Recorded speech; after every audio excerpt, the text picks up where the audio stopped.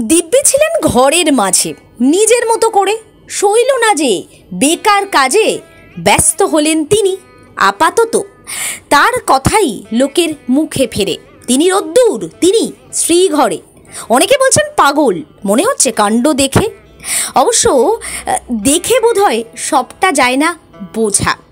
নেহাতি কাঁচা, নাকি ভীষণ পক্ক মস্তিষ্ক, তাই যাই বুঝি পাগলের মতো নাচা। দেখুন দেখুন। রকস্টার রোদ্দুর আর কত দূর?